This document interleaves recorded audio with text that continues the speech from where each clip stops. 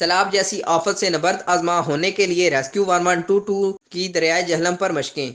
शुमाली मोहल्ला फ़ील्ड बंद पर rescue one one two two Jhelum ने सैलाब जैसी आफत से नबर्द आजमा होने के लिए फर्जी मशक की।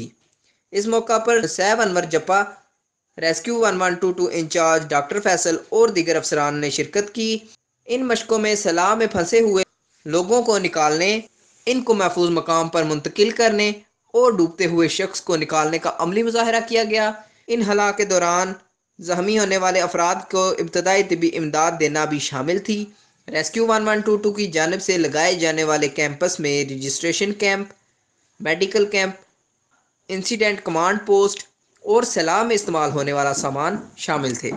Rescue one one two two के साथ सैलाब से मुतासर लोगों की इमदाद के लिए महकमा पुलिस, महकमा सेहत, सिविल डिफेंस, महकमा life stock municipal corporation Jhelum ने फर्जी मशकों में हिस्सा लिया।